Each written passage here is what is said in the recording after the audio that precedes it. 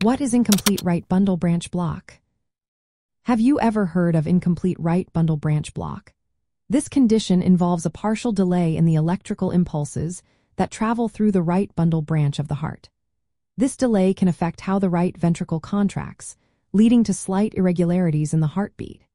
Unlike a complete right bundle branch block, where the delay is more significant, incomplete right bundle branch block typically results in less severe changes in the heart's electrical activity.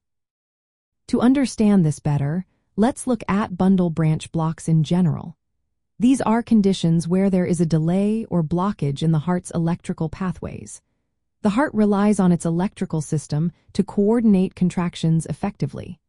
The right bundle branch is one of the pathways that carry electrical impulses to the heart's lower chambers, specifically controlling the contraction of the right ventricle.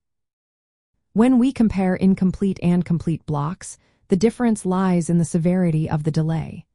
In an incomplete block, some electrical impulses still reach the right ventricle on time, while in a complete block, the delay is more pronounced. This can lead to noticeable irregularities on an electrocardiogram, or ECG. Now, let's talk about the clinical significance of incomplete right bundle branch block. Most individuals with this condition do not experience noticeable symptoms. However, if symptoms do occur, they might include an irregular heartbeat or, in rare cases, difficulty breathing. It is often identified during routine ECG tests and may be considered a benign finding, especially in athletes or people with certain anatomical variations. When it comes to treatment and management, incomplete right bundle branch block usually does not requiring specific treatment unless there are underlying heart conditions present. Regular monitoring is important to ensure that no other cardiac issues arise. For first responders, recognizing incomplete right bundle branch block is essential for understanding a patient's cardiac status.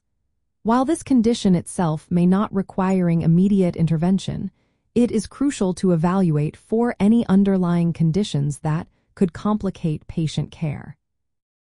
When assessing cardiac irregularities, first responders should consider the possibility of bundle branch blocks and ensure that patients receive appropriate medical evaluation if symptoms persist or worsen.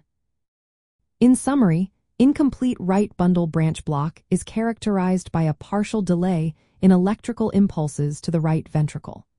While it is often benign, awareness of potential underlying cardiac issues is necessary. First responders should be familiar with this condition to provide informed care and ensure timely medical evaluation when necessary.